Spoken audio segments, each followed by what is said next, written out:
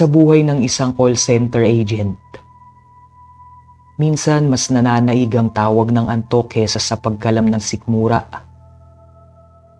Yan ang eksaktong nangyayari ngayon kay Sanya. Isang 20 years old na nursing graduate, nakabilang sa mga agent na nasa graveyard shift. Ang mga gaya ni Sanya ay karaniwang tulog sa umaga at aktibo naman sa gabi. Pero dahil dakilang pasaway at mas inuna niya pang manood ng k-drama kanina, pumasok tuloy siya sa trabaho na halos walang naitulog.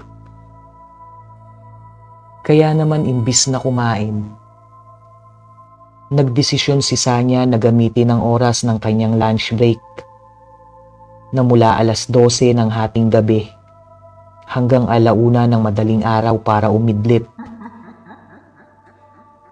Buti na lang talaga at nauso ang sleeping quarters para sa mga call center. Kung sino man ang nakaisip nito, mabuhay ka. Bulong ni Sanya sa sarili habang kinukuha ang kumot at maliit niyang una na nakatago sa locker. Pagpasok sa napakatahimik na silid na nagsisilbing sleeping quarters para sa mga female agents ng kumpanya nila Bahagyang kinurap-kurap ni Sanya ang mga mata para mag-adjust sa medyo madilim na kapaligiran.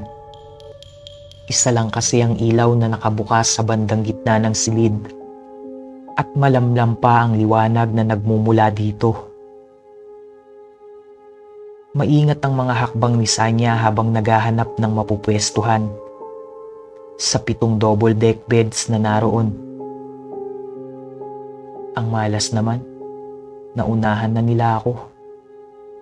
Puno na ang lahat ng pwesto dito sa ibaba. Naiinis na bulong ni Sanya sa sarili habang naghihikab na inililibot ang tingin sa paligid.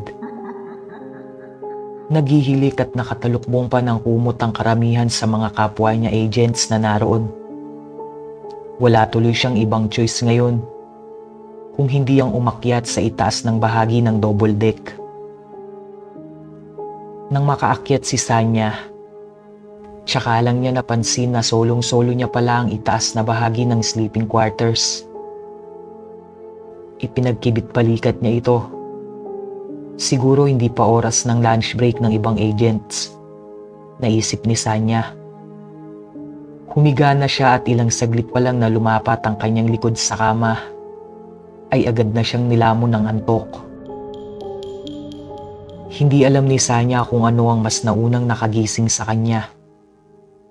Ang parang paglakas ba ng buga ng hangin na nagmumula sa aircon o ang biglang pagsakit ng kaliwang bahagi ng kanyang ulo.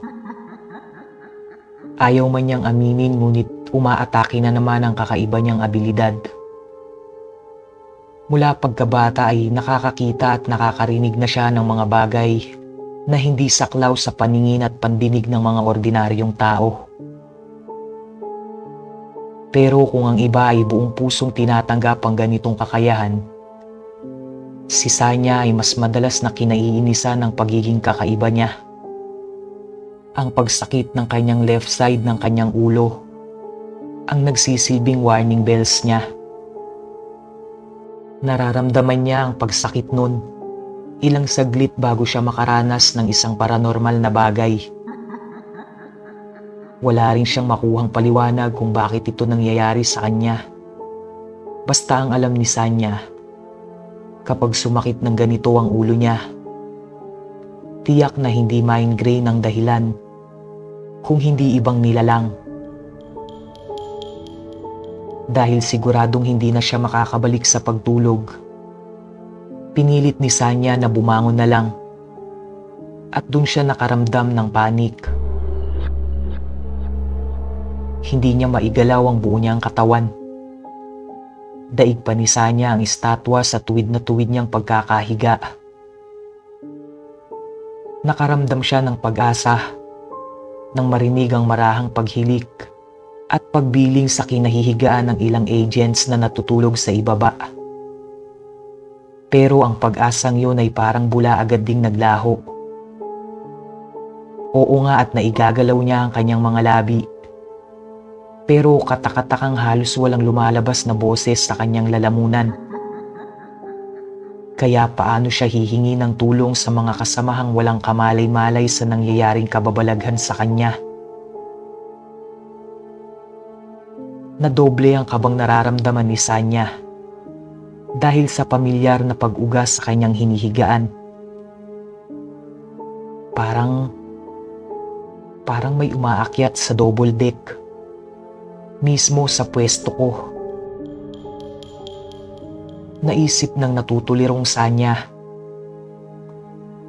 Lalong lumalamig ang paligid na parang sa kanya lang nakatutok ang buong puwersa ng hanging nagmumula sa aircon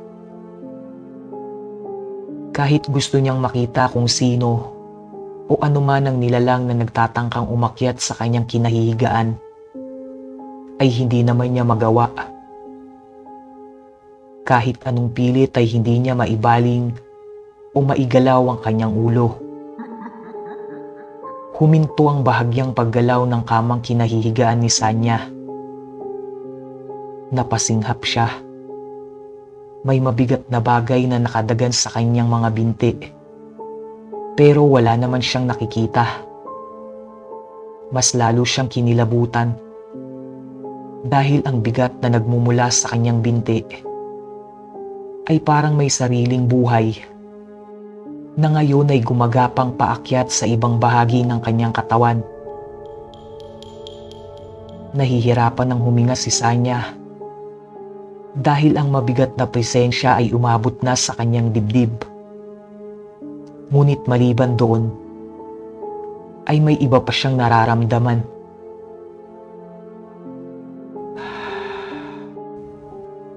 May kung anong bumuga ng hangin sa kanyang kanang pisngi.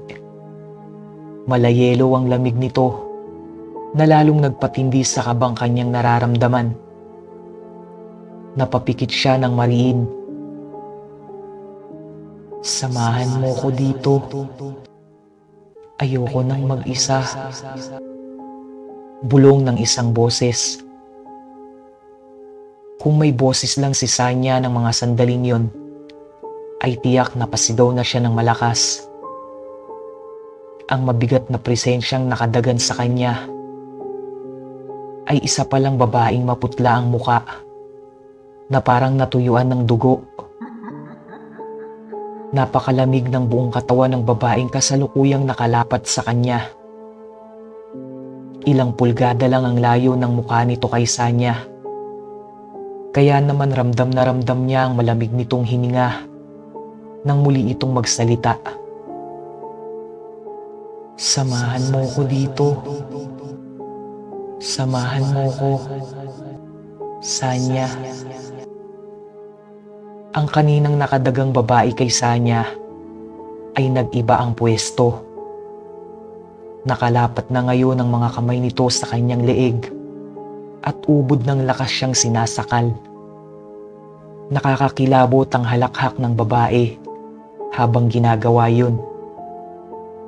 Nagdidilim na ang paningin ni Sanya at ramdam niyang malapit na siyang mawala ng malay. Sa ganitong paraan ba ako mamamatay? Pilit na inuutusan ni Sanya ang katawan para gumalaw at kumawala sa mahigpit na pagkakakapit ng babae. Sa isip niya ay sumisigaw siya ng malakas at tumihingi ng tulong. Pero wala ring nangyari. Ni hindi man lang natinag kahit ang mga daliri niya sa kamay. At kahit isang mahinang bulong ay walang narinig mula sa kanyang bibig. Tuloy pa rin ang paghalakhak ng babae. Parang hindi ito nauubusan ng lakas. Itinaas ng babae ang kanyang kamay. Habang ang kaliwang kamay nito ay patuloy pa rin sa pagsakal sa kanyang leeg. Nanlaki ang mga mata ni Sanya dahil kahit may kadiliman ng paligid, kitang-kita pa rin niya kung paano humaba ang mga kuko sa kanang kamay ng babae. Nakakakilabot ang ngiting sumulyap sa mga labi ng babae. Bago ito bumuelo para saksakin siya gamit ang matatalas na kukong yun. Mamamatay ka na. Sigaw ng babae. Umiiyak sa takot na napatulala lang si Sanya habang hinihintay ang nalalapit niyang kamatayan. Biglang bumukas ang pinto ng sleeping quarters. Sanya, hinahanap ka na ng captain mo. Nakilala niya ang tinig na nagmumula kay Mabel, isa ring agent mula sa account nila. Biglang dumilat si Sanya. Laking tuwa niya nang makitang wala ng babaeng multo. Nakakagalaw na rin siya at nakuha na rin niyang makapagsalita ulit. Ah, andito ako sa taas. Anong nangyari sa'yo, girl? More than 30 minutes ka ng overbreak. Kanina ka pa tinitext at tinatawagan ng team captain mo. Grabe ka namang matulog. Sorry girl, naabala ka pa tuloy. Sabi ni Sanya habang bumababa mula sa itaas ng bahagi ng double deck. Pilit niyang tinatago ang panginginig ng katawan. Tapos na ang ship nila at kasalukuyan nang nagliligpit ng gamit ang mga kasamahan ni Sanya.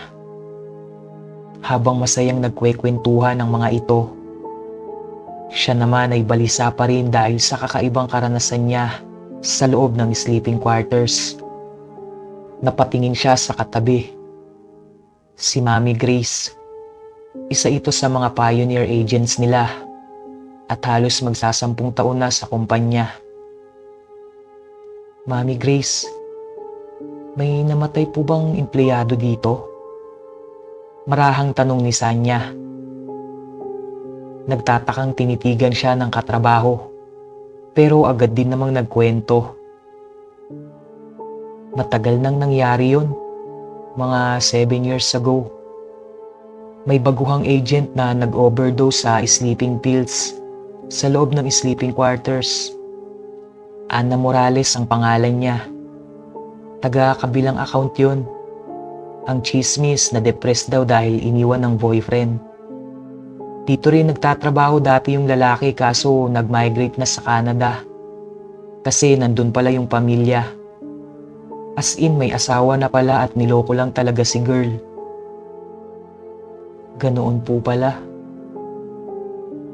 Ilang buwan ngang isinaray ang sleeping quarters.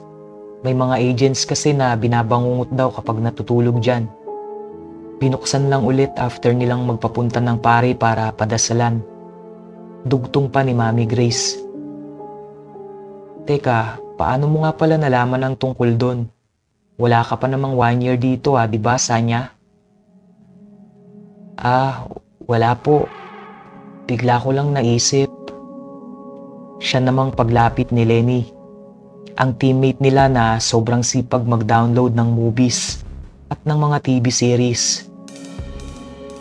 Sanya, may copy na ako ng bagong series ni Song Joong Ki. Gusto mo?